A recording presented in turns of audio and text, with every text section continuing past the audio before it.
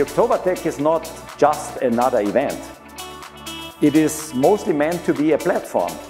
A platform to bring an ecosystem together in a very regular form, continuously, to not only talk about uh, innovation, but cultivate this ecosystem, uh, drive forward the next big things that help us to come up with uh, climate neutral technology that uh, helps uh, making uh, our planet to be preserved a place worth living.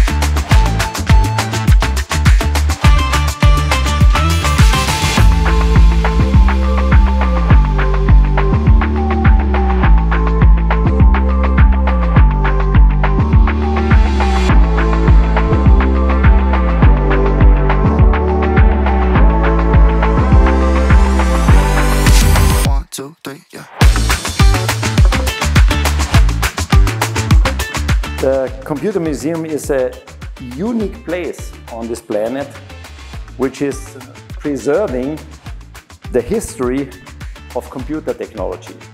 Infineon uh, invented a piece of silicon which is the first commercially available mass producible chips that serves as an ion trap. We're delighted to be part of Infineon's uh, history and future. Thank you. It will be preserved for generations to come.